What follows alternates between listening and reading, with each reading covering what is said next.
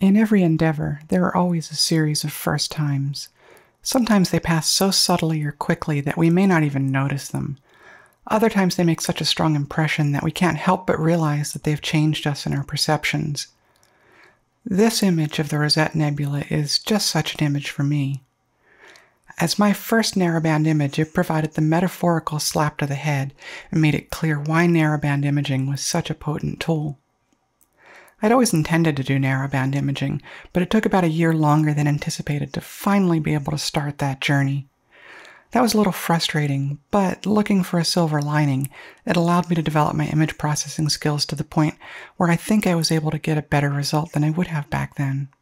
This data was acquired over four nights in mid January, and I ended up with 14.2 hours. It ended up being almost evenly distributed with 56 H alpha, 56 O3, and 58 S2 frames.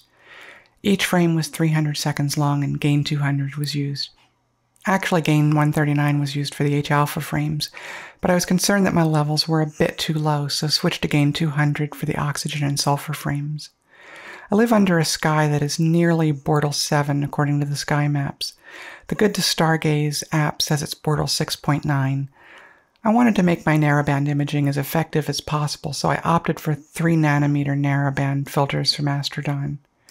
My budget was not happy with that, but I figured that under this light pollution that is only going to get worse over time, it would be a good investment. When the first H alpha subs came in, I was amazed.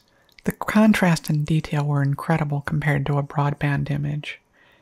If there was even a gradient, it was too subtle for me to see visually. I knew the H alpha signal was going to be much stronger than the oxygen or sulfur, but I was excited. The only question is whether the background sky was going to have enough signal to bury the read noise. I was very close to the minimum recommended value. So much so that I ultimately decided to go with gain 200, which got me closer to 5 times the read noise squared. O3 wasn't a problem. More light pollution exists at that wavelength, but hydrogen and especially sulfur were pushing the limits. That pushed me toward raising the gain. Here are the three integrated masters. We have hydrogen here at the bottom, oxygen on the top right, and sulfur on the top left. You can see hydrogen and oxygen have basically the same shape, while the sulfur is a bit more amorphous. If we look in at some of the details here, we can see that there was a lot of detail captured.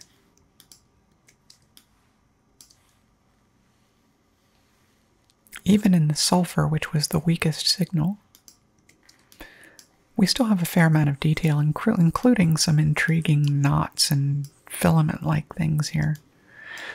The Bok globules don't stand out as clearly. I'm assuming that's because the sulfur signal is so much weaker, and so we don't quite get the contrast with the darker globules like we do in the others. Now that we have the three integrated masters, I ran the same three processes on all of them.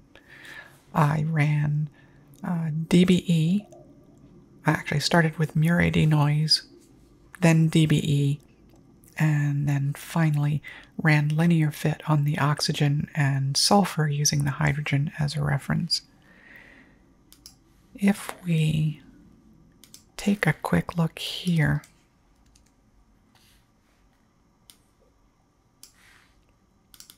I used manual DBE points and placed them here. Um, it's possible that I actually did sacrifice a little bit of, of nebulosity out here in the edges because if you push this data hard, it actually goes pretty much all the way out to the edge. But I wanted to make sure there were no gradients, and I was willing to sacrifice a little bit of the faintest nebulosity to get a, a nice flat background, and that seemed to work out pretty well. Now it was time to combine the data I decided I didn't want to do a Hubble palette image, although the data looked great presented that way. Part of my motivation was a recent image by a club member who had just finished 40 hour Rosette integration and presented it in the Hubble palette. It was fantastic. So I decided I wanted to approach it differently. For reasons that I don't really understand, the Rosette reminds me of the Eye of Sauron as presented in the Lord of the Rings movies. I don't really know why. The shape isn't the same, but there's an energy in both that seems to tickle the same part of my brain.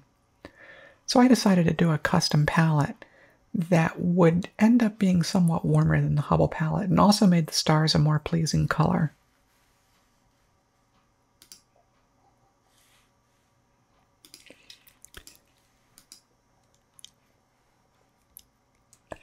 This is, of course, even less scientifically useful than a conventional image, but this wasn't about science. This was about making an image that I liked. I tried a few different combinations and ultimately settled on the values here. I went with this combination because it made for a warmer palette than the Hubble palette, and that helped emphasize the energy that I was visualizing in my head. The warmer purple for the core seemed more dangerous than the cool blue of the Hubble palette. I wasn't really sure about this smog yellow on the edges, but I was willing to see where this went. The first thing I did was run background neutralization. So let's make a small preview here. And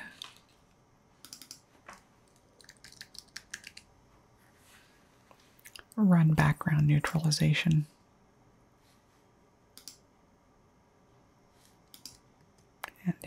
screen stretch, we have a much more neutral background, and I still was was liking the color balance.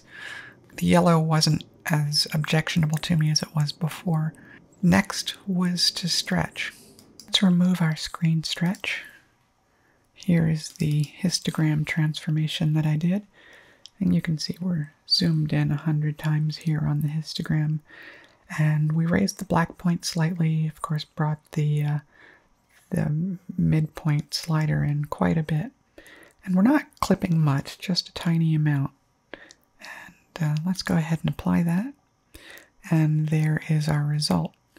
I was pretty pleased with this. The background level is up here at about 0.14, almost 0.15. We've got quite a bit of wispiness in the uh, the edges, and uh, I, I thought that was something that I could work with pretty well. Overall, I was pretty happy with the way things were going at this point. I wanted to run local histogram equalization next to create contrast within the image. To facilitate that, I produced this range mask. It's possible I could have gotten away without this mask entirely. We are basically affecting almost the entire image. But this was the mask that I created with range mask. And if we apply it there, we can see the mask is really affecting pretty much all of the image except for the edges. This was the first LHE that I applied. It had a kernel radius of 80 and a contrast limit of 1.1, and we're only applying it in a very small amount. Only a third of the LHE is being applied to the image. I I wanted to keep this subtle. In fact, you you may not even be able to see it in the video when we apply it. The LHE at a kernel radius of 880 works on fairly small structures within the image, and I found that if I used too high a contrast limit or too much of an amount, it made too much of a change. Uh, it started to make the image look unnatural to my eye. And there you can see the result. Maybe. If we zoom in, maybe we'll have a better chance here. If we undo and then redo, it's it's very very subtle. I'm not even sure that YouTube compression will allow that to come in. Let's try here at the larger scale. Yeah, it's very mild. The next one will be much more obvious. This uses a kernel radius of 180 and a contrast limit of 1.5, and half of that is allowed to come through. And when we apply this, this will take longer to run, and uh, so when this finishes, we'll show you the result. And here we have the results of the second LHE. If we back this off, you can see that the image looks much flatter now. And if we redo, you can see that these darker areas, oops, sorry about that. We can see that these darker areas become much more pronounced. But it's still a modest change. It's it's not overdone, I don't think. So there's with it off, and there's with it on. And you can see that brings out some of the edges too. So I, I liked the way this worked. Next, I disabled the mask and ran curves.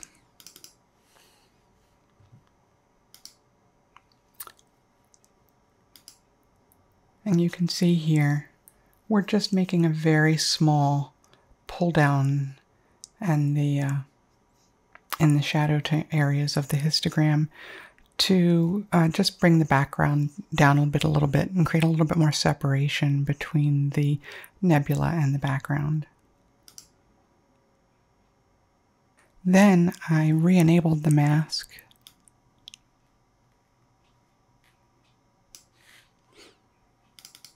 And ran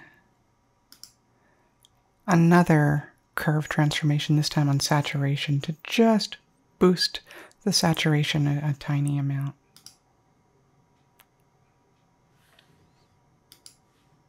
Let's see. It's a fairly modest saturation increase, but it just helps the nebula pop out a bit. Next, I ran the dark structure enhance script.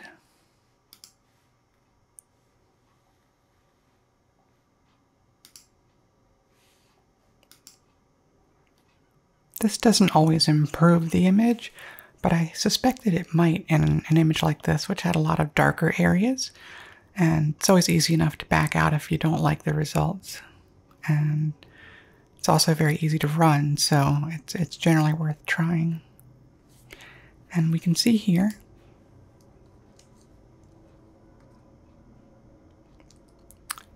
that those darker areas, the Bok globules and the, the center core of the the nebula were definitely made a bit more contrasty by that.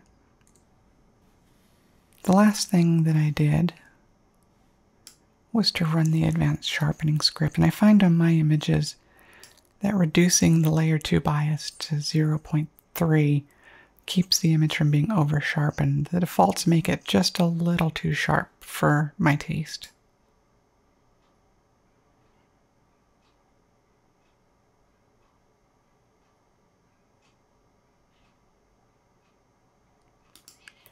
And there's the result of that. I'm not sure you can see the result at that scale, but if we zoom in and back it off and then redo it, undo redo, you can see that the, the Bok globules get just a little bit crisper. And then the last thing that I do before saving a JPEG is to convert from uh, to the sRGB space. It's kind of implicitly in Adobe RGB right now. And so that won't have any visible effect. But there we have it. I'm really pleased with how this came out. If we zoom in, you can see we've got a lot of great detail in the core. The block, the Bok globules look pretty good out here at the edge.